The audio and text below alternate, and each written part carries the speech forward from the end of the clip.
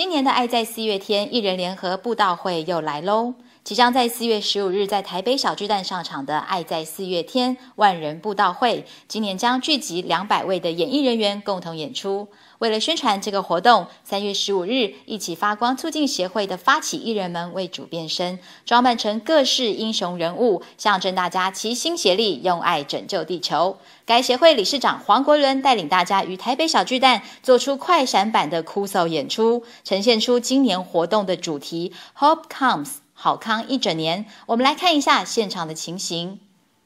那我为什么穿成阿姆斯壮呢？因为我们要宣告，一起发光的一小步是台湾演艺圈的一大步。掌声鼓励一下，谢谢。嗯，现在我们只有一个目的，就是把福音、福气的声音传给大家。艺人一起连接步道，让四月充满神的爱。那么，当运动国手与福音相遇时，会擦出什么火花呢？由长老教会新竹中会传道部主办的“一领一桌球布道会”别出心裁，邀请本土桌球国手傅恩迪、陈佑玲见证分享，并与现场朋友切磋球技。活动发起人桃园教会卓宗仁牧师表示，透过运动与福音的结合，吸引许多年轻人参加，与会者反应热烈。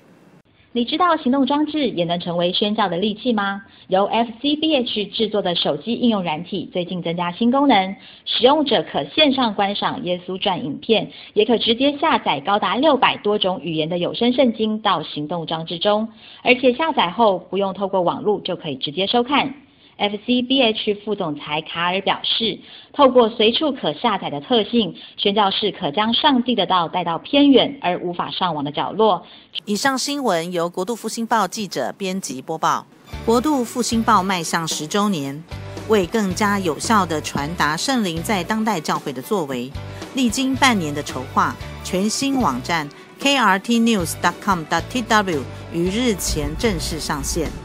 除了有各版报纸内容外，新增生活大小事、圣经小故事专区，也整合 YouTube 影音新闻及佳音电台从台北看天下广播平台。相较于旧网站，新网站还增加了许多友善功能，例如教会消息登录更加容易，只需进入教会消息页面，点选右侧发布教会消息，按表单填写传送即可。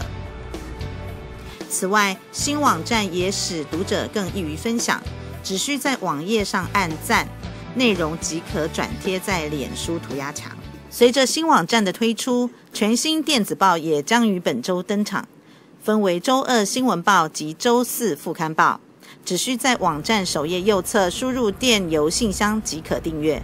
十年来，本报详实记录圣灵在各地的工作，报道各地基督徒如何回应时代需要，并坚持七大平台所有内容皆完全免费，为使读者能有效善用十年资料库，并更加方便搜寻。目前新网站资料库正逐步的建制，预计在年底前全部完工。